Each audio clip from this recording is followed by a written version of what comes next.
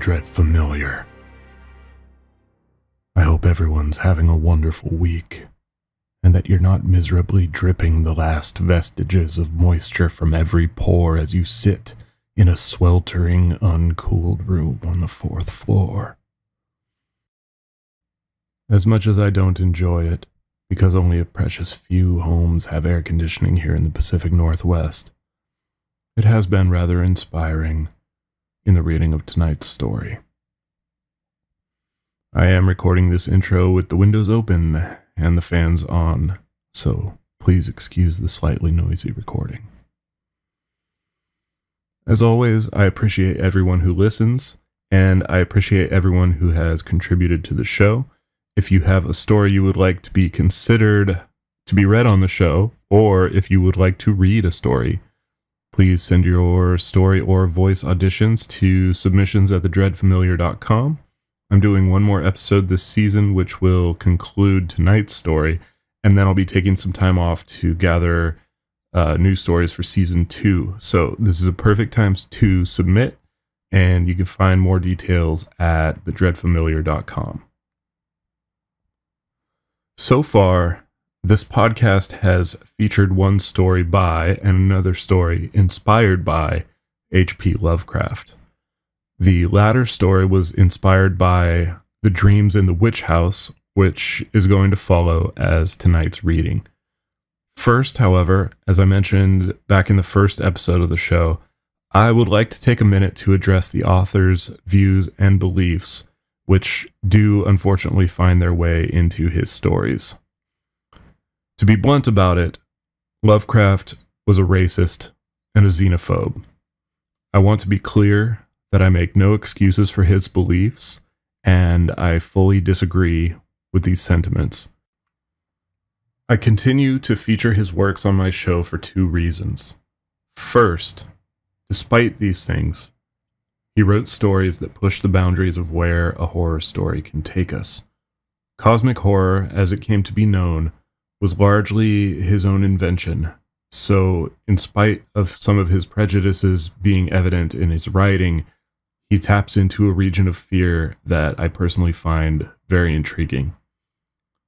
Second, and most importantly, I believe that we can't move forward and overcome racism and xenophobia without addressing straight on the fact that they exist. Pretending Lovecraft's contributions to fiction don't exist because of his terrible worldview would not help anyone to address that viewpoint and to see how truly horrible it is. My hope is that these stories can be viewed from the perspective that I have chosen to read them from, which is that the mind of someone living in fear of their own neighbor because of that person's color or national origin is truly horrifying rather than, as he calls them, a dusky looking person being horrifying. So, with that said, this is the first half of The Dreams in the Witch House. Whether the dreams brought on the fever, or the fever brought on the dreams, Walter Gilman did not know. Behind everything crouched the brooding, festering horror of the ancient town, and of the moldy, unhallowed garret table where he wrote and studied, and wrestled with figures and formulae when he was not tossing on the meager iron bed. His ears were growing sensitive to a preternatural and intolerable degree, and he had long ago stopped the cheap mantel clock whose ticking had come to seem like a thunder of artillery. At night, the subtle stirring of the black city outside, the sinister scurrying of rats in the wormy partitions, and the creaking of hidden timbers in the centuried house were enough to give him a sense of strident pandemonium. The darkness always teemed with unexplained sound, and yet he sometimes shook with fear lest the noises he heard should subside and allow him to hear certain other, fainter noises which he suspected were lurking behind them. He was in the changeless, legend haunted city of Arkham, with its clustering gambrel roofs that sway and sag over attics where witches hid from the king's men in the dark, olden years of the province. Nor was any spot in that city more steeped in macabre memory than the gable room which harbored him. For it was this house and this room which had likewise harbored old Keziah Mason, whose flight from Salem jail at the last no one was ever able to explain. That was in 1692. The jailer had gone mad and babbled of a small, white fanged, furry thing which scuttled out of Keziah's cell, and not even Cotton Mather could explain the curves and angles smeared on the gray stone walls with some red, sticky fluid. Possibly, Gilman ought not to have studied so hard. Non Euclidean calculus and quantum physics are enough to stretch any brain, and when one mixes them with folklore and tries to trace a strange background of multidimensional reality behind the ghoulish hints of the Gothic tales and the wild whispers of the chimney corner, one can hardly expect to be wholly free from mental tension. Gilman came from Haverhill, but it was only after he had entered college in Arkham that he began to connect his mathematics with the fantastic legends of elder magic. Something in the air of the hoary town worked obscurely on his imagination. The professors at Miskatonic had urged him to slacken up, and had voluntarily cut down his course at several points. Moreover, they had stopped him from consulting the dubious old books on forbidden secrets that were kept under lock and key in a vault at the university library. But all these precautions came late in the day, so that Gilman had some terrible hints of the dreaded Necronomicon of Abdul Alhazred, the fragmentary Book of Eibon, and the suppressed Von Unaussprechlichen Kulten of von Junzt to correlate with his abstract formulae on the properties of space and the linkage of dimensions known and unknown. He knew his room was in the old witch house. That, indeed, was why he had taken it. There was much in the Essex County record about Keziah Mason's trial, and what she had admitted under pressure to the court of Oyer and Terminer had fascinated Gilman beyond all reason. She had told Judge Hawthorne of lines and curves that could be made to point out directions leading through the walls of space to other spaces beyond, and had implied that such lines and curves were frequently used at certain midnight meetings in the dark valley of the White Stone beyond Meadow Hill and on the unpeopled island in the river. She had spoken also of the black man, of her oath, and of her new secret name, Nahab. Then she had drawn those devices on the walls of her cell and vanished. Gilman had believed strange things about Keziah, and had felt a queer thrill on learning that her dwelling was still standing after more than 235 years. When he heard the hushed Arkham whispers about Keziah's persistent presence in the old house and the narrow streets, about the irregular human tooth marks left on certain sleepers in that and other houses, about the childish cries heard near May Eve and Hallowmass, about the stench often noted in the old house's attic just after those dreaded seasons, and about the small, furry, sharp toothed thing which haunted the moldering structure in the town and nuzzled people curiously in the black hours before dawn, he resolved to live in the place at any cost. A room was easy to secure, for the house was unpopular, hard to rent, and long given over to cheap lodgings.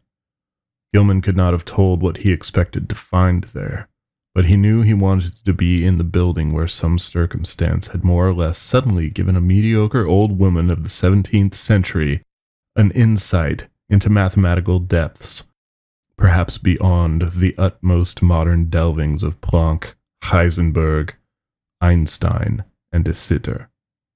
He studied the timber and plaster walls for traces of cryptic designs at every accessible spot where the paper had peeled and within a week managed to get the eastern attic room where Keziah was held to have practiced her spells. It had been vacant from the first, for no one had ever been willing to stay there long, but the Polish landlord had grown wary about renting it. Yet nothing whatever happened to Gilman till about the time of the fever. No ghostly Keziah flitted through the somber halls and chambers. No small furry thing crept into his dismal eyrie to nuzzle him, and no record of the witch's incantations rewarded his constant search.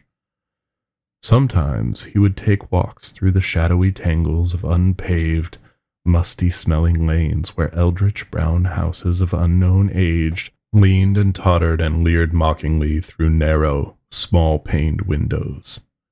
Here he knew strange things had happened once. There was a faint suggestion behind the surface that everything of that monstrous past might not, at least in the darkest, narrowest, and most intricately crooked alleys, have utterly perished. He also rode out twice to the ill regarded island in the river, and made a sketch of the singular angles described by the moss grown rows of gray standing stones, whose origin was so obscure and immemorial. Gilman's room was of good size, but queerly irregular shape the north wall slating perceptibly inward from the outer to the inner end, while the low ceiling slanted gently downward in the same direction.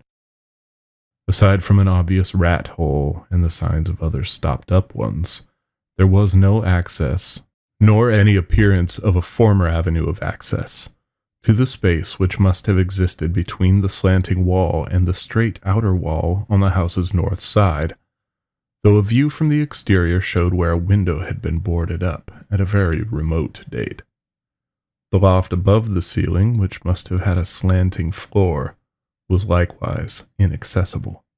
When Gilman climbed up a ladder to the cobwebbed level loft above the rest of the attic, he found vestiges of a bygone aperture, tightly and heavily covered with ancient planking and secured by the stout wooden pegs common in colonial carpentry.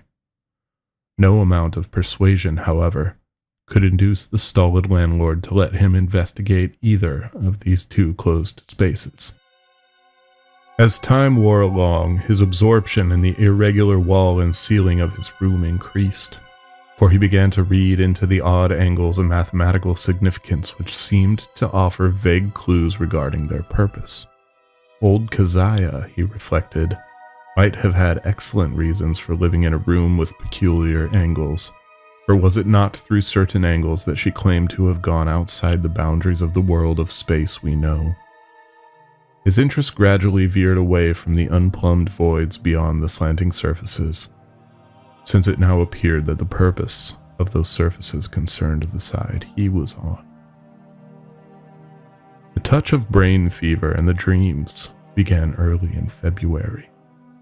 For some time, apparently, the curious angles of Gilman's room had been having a strange, almost hypnotic effect on him. And as the bleak winter advanced, he had found himself staring more and more intently at the corner where the down slanting ceiling met the inward slanting wall.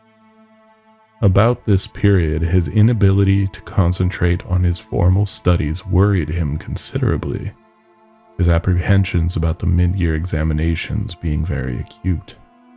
But the exaggerated sense of bearing was scarcely less annoying. Life had become an insistent and almost unendurable cacophony, and there was that constant, terrifying impression of other sounds, perhaps from regions beyond life, trembling on the very brink of audibility. So far as concrete noises went, the rats in the ancient partitions were the worst. Sometimes their scratching seemed not only furtive, but deliberate. When it came from beyond the slanting north wall, it was mixed with a sort of dry rattling. And when it came from the century closed loft above the slanting ceiling, Gilman always braced himself as if expecting some horror which only bided its time before descending to engulf him utterly. The dreams were wholly beyond the pale of sanity, and Gilman felt that they must be a result, jointly, of his studies in mathematics and in folklore. He had been thinking too much about the vague regions in which his formulae told him he must lie beyond the three dimensions we know, and about the possibility that old Keziah Mason, guided by some influence past all conjecture, had actually found the gate to those regions. The yellowed country records containing her testimony and that of her accusers were so damnably suggestive of things beyond human experience and the descriptions of the darting little furry object which served as her familiar were so painfully realistic despite their incredible details. That object, no larger than a good sized rat, and quaintly called by the townspeople Brown Jenkin, seemed to have been the fruit of a remarkable case of sympathetic herd delusion, for in 1692 no less than eleven persons had testified to glimpsing it. There were recent rumors, too, with a baffling and disconcerting amount of agreement. Witnesses said it had long hair in the shape of a rat, but that its sharp toothed, bearded face was evilly human, while its paws were like tiny human hands. It took messages betwixt old Keziah and the devil, and was nursed on the witch's blood which it sucked like a vampire. Its voice was a kind of loathsome titter, and it could speak all languages. Of all the bizarre monstrosities in Gilman's dreams, nothing filled him with greater panic and nausea than this blasphemous and diminutive hybrid, whose image flitted across his vision in a form a thousandfold more hateful than anything his waking mind had deduced from the ancient records and the modern whispers. Gilman's dreams consisted largely in plunges through limitless abysses of inexplicably colored twilight and bafflingly disordered sound. Abysses whose material and gravitational properties and whose relation to his own entity he could not even begin to explain. He did not walk or climb, fly or swim, crawl or wriggle, yet always experienced a mode of motion partly voluntary and partly involuntary. Of his own condition he could not well judge, for sight of his arms, legs, and torso seemed always cut off by some odd disarrangement of perspective. But he felt that his physical organization and faculties were somehow marvelously transmuted and obliquely projected, though not without a certain grotesque relationship to his normal proportions and properties. The abysses were by no means vacant, being crowded with indescribably angled masses of alien hued substance, some of which appeared to be organic while others seemed inorganic. A few of the organic objects tended to awake vague memories in the back of his mind, though he could form no conscious idea of what they mockingly resembled or suggested. In the later dreams, he began to distinguish separate categories into which the organic objects appeared to be divided, and which seemed to involve in each case a radically different species of conduct pattern and basic motivation. Of these categories, one seemed to him to include objects slightly less illogical and irrelevant in their motions than the members of the other categories. All the objects, organic, and inorganic alike, were totally beyond description or even comprehension. Gilman sometimes compared the inorganic matter to prisms, labyrinths, clusters of cubes and planes, and cyclopean buildings, and the organic things struck him variously as groups of bubbles, octopi, centipedes, living Hindu idols, and intricate arabesques roused into a kind of Ophidian animation. Everything he saw was unspeakably menacing and horrible, and whenever one of the organic entities appeared by its motions to be noticing him, he felt a stark, hideous fright which generally jolted him awake. Of how the organic entities moved, he could tell no more than of how he moved himself. In time, he observed a further mystery the tendency of certain entities to appear suddenly out of empty space, or to disappear totally with equal suddenness. The shrieking, roaring confusion of sound which permeated the abysses was past all analysis as to pitch, timbre, or rhythm, but seemed to be synchronous with vague visual changes in all the indefinite objects, organic and inorganic alike.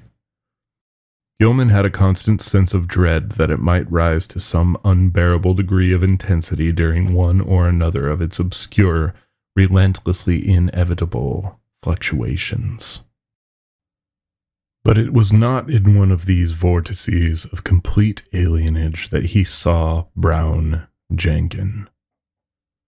That shocking little horror was reserved for certain lighter, sharper dreams which assailed him just before he dropped into the fullest depths of sleep.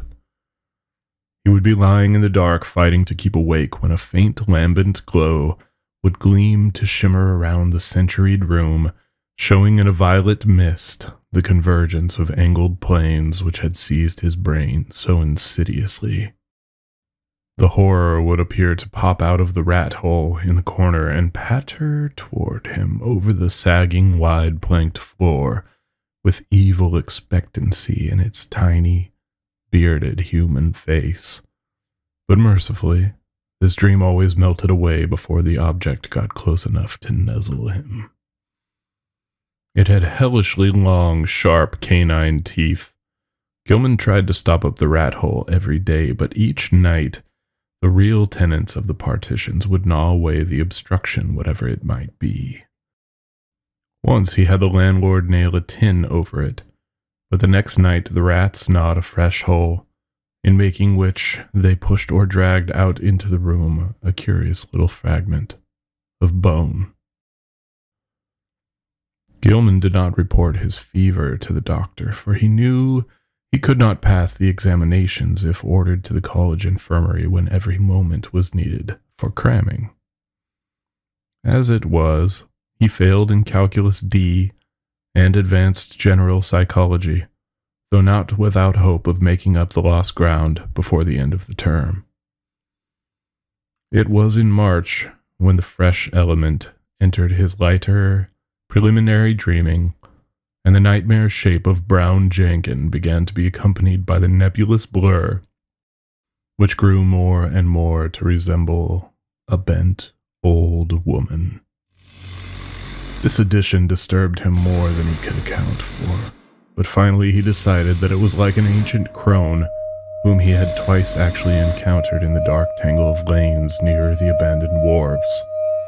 On those occasions, the evil, sardonic, and seemingly unmotivated stare of the beldame had set him almost shivering, especially the first time when an overgrown rat darting across the shadowed mouth of a neighboring alley had made him think irrationally of Brown Jenkin.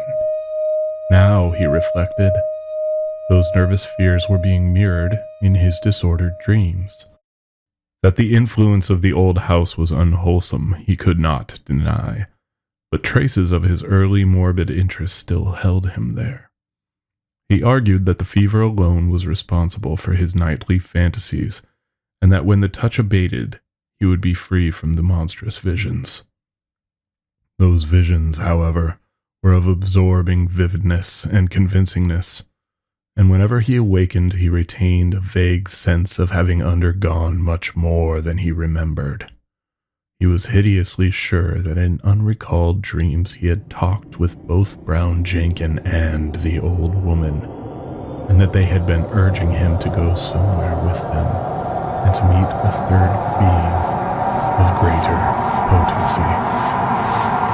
Toward the end of March, he began to pick up in his mathematics, though the other studies bothered him increasingly.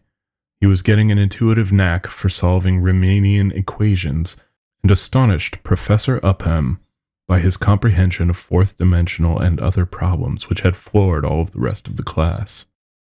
One afternoon, there was a discussion of possible freakish curvatures in space and of theoretical points of approach or even contact between our part of the cosmos and various other regions as distant as the farthest stars or the transgalactic gulfs themselves.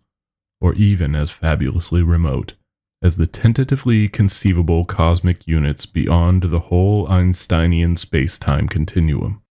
Gilman's handling of this theme filled everyone with admiration, even though some of his hypothetical illustrations caused an increase in the always plentiful gossip about his nervous and solitary eccentricity. What made the students shake their head was his sober theory that a man might, given mathematical knowledge admittedly beyond all likelihood of human acquirement, step deliberately from the earth to any other celestial body which might lie at one of an infinity of specific points in the cosmic pattern. Such a step, he said, would require only two stages. First, a passage out of the three dimensional sphere we know, and second, a passage back to the three dimensional sphere at another point, perhaps one of infinite remoteness. That this could be accomplished without loss of life was in many cases conceivable.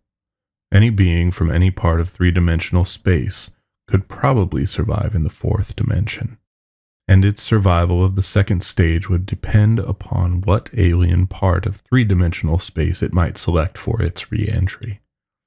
Denizens of some planets might be able to live on certain others, even planets belonging to other galaxies or to similar dimensional phases of other space time continua.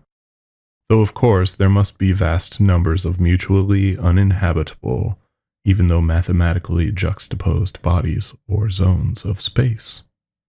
It was also possible that the inhabitants of a given dimensional realm could survive entry to many unknown and incomprehensible realms of additional or indefinitely multiplied dimensions, be they within or outside the given space time continuum, and that the converse would be likewise true.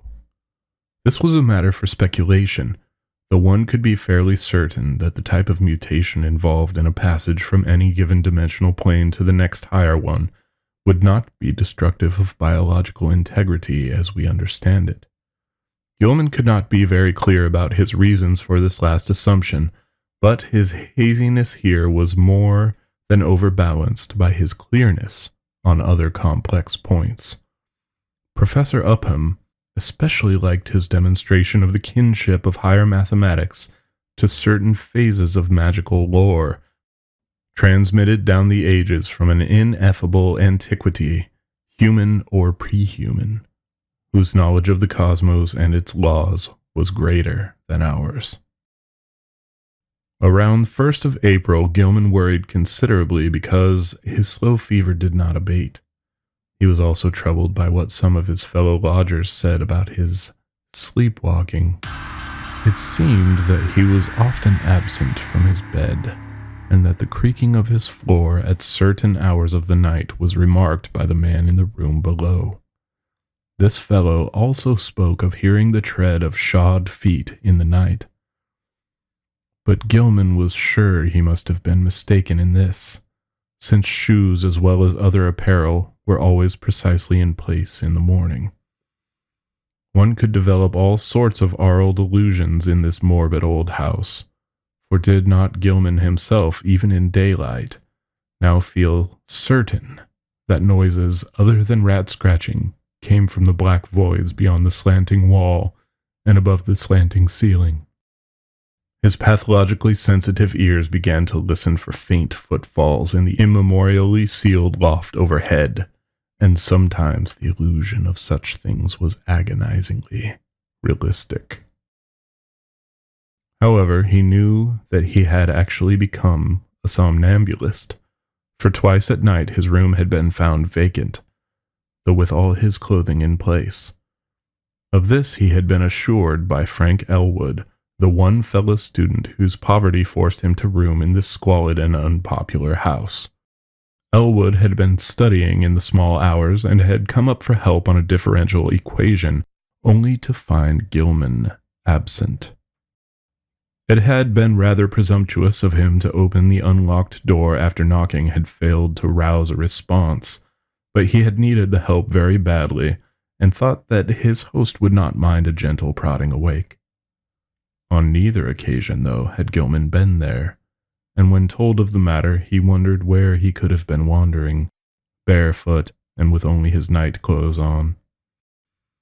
He resolved to investigate the matter if reports of his sleepwalking continued, and thought of sprinkling flour on the floor of the corridor to see where his footsteps might lead. The door was the only conceivable egress, for there was no possible foothold outside the narrow window. As April advanced, Gilman's fever sharpened ears were disturbed by the whining prayers of a superstitious loom fixer named Joe Mazurowicz, who had a room on the ground floor.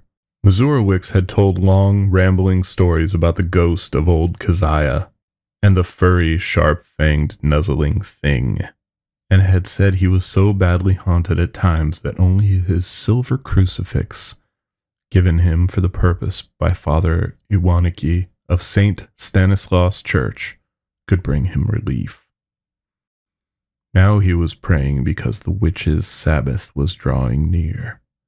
May Eve was Walpurgis night, when hell's blackest evil roamed the earth, and all the slaves of Satan gathered for the nameless rites and deeds.